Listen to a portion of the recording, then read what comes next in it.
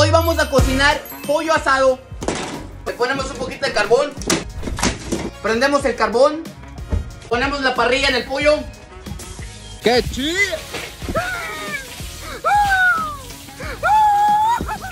Hoy vamos a cocinar sopa de piedra. Recuerden, chavos, debemos lavar las piedras. De preferencia con jabón sote. Hoy vamos a cocinar huevo estrellado. ¡Qué chido! ¿Conoces a Paco Yazo? Este TikToker ha conquistado el corazón de todos con sus entretenidos tutoriales, hasta el de Eugenio Derbez. Hoy vamos a hacer el tutorial para que Eugenio Derbez me adopte. Adoptado. ¡Qué chido! Pero codearse con la élite del internet y sumar más de 10 millones de seguidores no ha sido cosa fácil. Paco tuvo que soportar el rechazo y las burlas de la gente que lo quería. Por si fuera poco, su economía no le facilitó las cosas y justo cuando lo estaba logrando, el universo conspiró en su contra para que fracasara una y otra vez.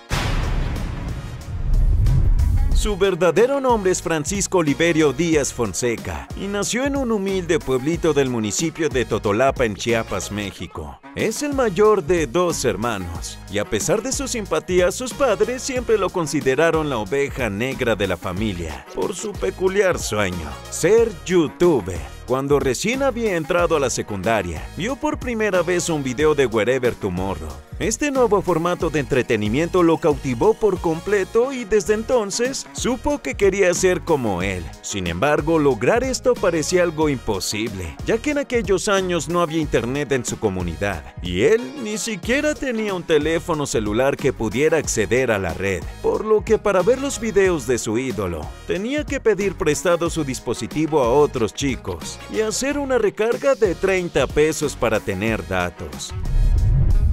A pesar de las dificultades, el pequeño Francisco no abandonó sus sueños y en busca de apoyo decidió contarle sus planes a sus amigos. Pero lo único que recibió a cambio fueron despiadadas burlas. Los años pasaron y junto con ello Paco siguió en busca de alguien que lo ayudara a lograr su meta. Por esto, cuando entró al bachillerato y conoció a su primera novia, de inmediato le contó que su sueño era ser un youtuber famoso y que esperaba que ella pudiera ser parte de eso. Desafortunadamente la historia se repitió y la chica en vez de motivarlo, le dijo que dejara atrás esos pensamientos tan poco realistas.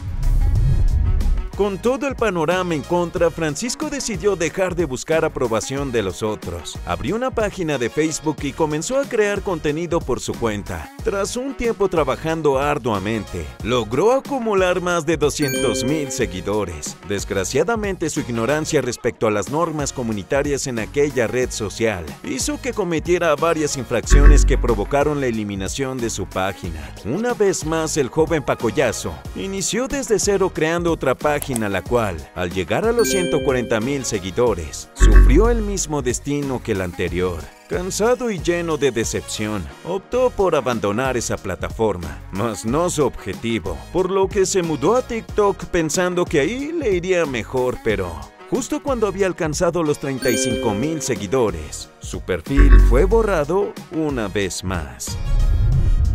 Cualquier persona en el lugar de Francisco hubiera tirado la toalla, pero ese no fue su caso, así que decidió jugárselo todo por última vez, creando una nueva cuenta en la que por fin pudo hacer realidad su más grande sueño. Ahí se dedicó a subir contenido humorístico, siendo el más popular sus recetas en las que imitaba a un TikToker que preparaba lujosos platillos. Y va para adentro el Porterhouse. Solo que Pacoyazo lo hacía a su manera y con ingredientes que todos tenemos a la mano. Necesitamos un vaso, agua.